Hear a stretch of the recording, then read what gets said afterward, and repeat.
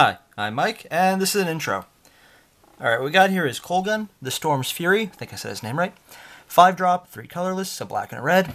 He's a flying legendary dragon out of Dragon's. Uh, oh, sorry. Uh, this is the earlier printing. He's out of Fate Reforged, the middle block from, well, the Tarkir set. So let's see. Whenever a dragon you control attacks, creatures you control get plus one, plus zero until end of turn. That's a good ability. I mean, it's good. Don't get me wrong, it, it's actually quite great. Gotta readjust the camera. Not sure what happened there. But it's kind of well, there's the other dragon from the exact same block, an earlier printing of one of the Dragon Lords, or became Dragon Lords. Uh, he basically does this, but in reverse. Instead of buffing your allies, you reduce your enemies by how many dragons are attacking, minus one, minus one counters.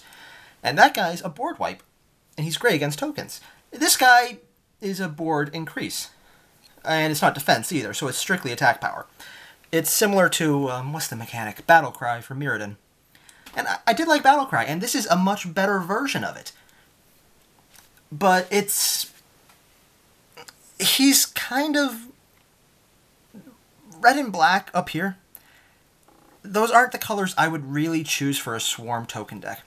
Now, they're doable and they're very good, but other than the one Hellkite that pumps out tokens based on uh, how many dragons are attacking, and those dragons, well, the tokens are also dragon tokens, and it goes exponential, you don't really need Kolaghan with that. That's a win strategy on its own. You just keep attacking, and then you just eventually swarm. What Kolaghan really gets good at, though, is two things. One, his colors enable him to work with Bladewing, so you can dash him out, and if he dies, Bladewing comes in and you just re-res him. Or res him, not re-res, but uh, yeah. And, you know, together these are two buffs, so if you have the mana, you can actually do a lot of damage quickly. But on their own, you either have to have a lot of dragons in red, because there's only a couple in black. Actually, I only know one in black to start with. Or technically two, because there's much... Uh, yeah. I try not to uh, think of the poisoning dragon, though. It doesn't exist. not at all. No. Not at all. Skithiryx is not a thing. But, but other than that, these are the two dragons I would mainly focus on in this set. And they're both good. But this guy relies on tokens having a lot of tokens and using them. Gotta readjust the camera. But other than the one card that does it, you don't really need him to make it good. Which is where Conspiracy comes in. This card is... It's insane. It basically breaks any kind of tribal deck. It creates a tribal deck where there wasn't one. And it's not hard to, you know, put down. It's only a three drop, or sorry, uh, five drop, three colorless, two black. As Conspiracy comes into play, choose a creature type. Creature cards you own that aren't in play, creature spells you control, and creatures you control are the chosen type. That pretty much covers everything. If it's being cast, if it's already out, or if it's anywhere else, including exile if you can interact with that somehow, they now become whatever you want. Kolaghan works with dragons. With this out, you get a free pass for everything. Just going to rearrange this. And that just gives him so many more options. Now, anyone who knows how Kolaghan works will immediately take out Conspiracy, so you don't have a lot of time with it. If you drop it, you need to have the mana to immediately use it. Now, the one upside to his colors are black and red have a lot of mana acceleration, and if you include artifacts, that won't be hard. But you're going to want to have a lot of search spells, and with black, that shouldn't be too bad. But you're going to want them in there. You're going to want a lot of mana. Again, black will make that easier because it's a color that ramps well. Same with red to a lesser extent. But what you're going to want to do is get Kolaghan out. Either drop him in for his normal cost or dash him in if you want to attack that turn. Personally, I would get him in the turn earlier and then just hold off because the second you drop Conspiracy, you're going to want to attack that turn. But you're going to want to do something with it. Now, either build up an army ahead of time, or build it up on the spot. Ahead of time, I would actually recommend Infernal Genesis. At the beginning of each player's upkeep, that player puts the top card of his or her library into his or her graveyard. He or she then puts X 1 1 black minion creature tokens into play, where X is that uh, card's converted mana cost. Now, this is a 6 drop, it's a really old thing. I think this is from Prophecy, but I'll be honest, I don't know too much about the really early sets. I'm sure someone will clarify that for me. Uh, or could someone clarify that? Clarify that for me, please. Yeah, thanks. I just like this one because you're going to have a lot of cards and you're going to mill yourself. But this is a black deck. You're going to have ways to get them back. I would be honestly surprised if someone didn't include them.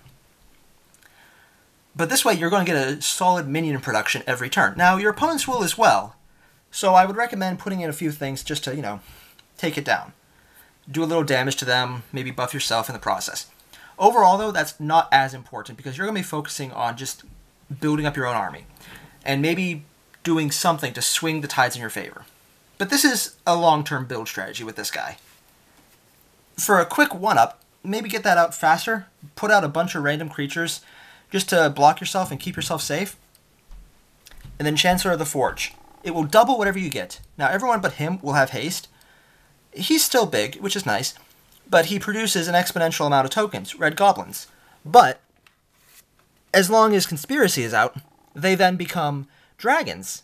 Because you, you would be insane not to pick dragons. One sec, just gotta readjust. What ends up happening is you attack with an instant swarm of dragons. And say you have maybe 12 cards out to start with. You suddenly have 24. 23 of those cards, because Chancellor is not possible to attack, he doesn't have haste. Slight problem with that card, actually. Probably would have been better with it. But, um, you're suddenly going to have a large swarm, and they're going to be buffed for every dragon attacking. You don't need much to win at that point. If two creatures hit, chances are you're going to kill someone. So even if they have a lot of little blockers, if you so much as, you know, give anyone flying, or lifelink, or unblockable, or any of the little things, or uh, mass fear, I'm pretty sure there's black cards that do that. There are so many things you can do, and you will probably be able to finish the game right then and there. But you only get to really build up to that once. Conspiracy, the first time someone plays against it, they might let you get it. The second time, they will know better and they will hold something to stop it. Be prepared. But this is how this guy works, and he will be an overwhelming beat stick. The fact that he has dash is actually okay if you have any of the other enchantments out of uh, Dragons of Tarkir, the last set in the uh, Tarkir block, because there's things that say whenever a dragon enters, it does damage based on the number of dragons. And there's a few other things, but that suddenly becomes really potent because with Conspiracy, everything's a dragon. So if your first rush doesn't win, that really goes off. Or if you're not in a place where you have everything set up for a rush win, this is a slow build-up. But we'll do a really nice build-up because you'll get a lot of tokens out of Infernal Genesis. So you get a lot of them for whatever you mill. This makes them dragon, and the one enchantment that does what I said that I can't seem to find a copy of for some reason, will make it a win condition. That one's a little harder just because people will focus on you because you will be the threat. Otherwise, this is a bum rush deck. Kolaghan is insane. That said, outside of this, he's kind of limited because it really doesn't matter. He doesn't do so much in the deck. This is how he interacts with it. But short of that, you can really go with anyone in these colors and it work the same. But this is how you make him good. So I guess uh, as far as how good he is in his own right, if you build to his strengths, he's very terrifying. But that's only if you build to his strength. He isn't very versatile. If you see him, you kind of know what you're going to get. Unless someone is doing something crazy where he's just there for show and the deck does something completely independent of the general.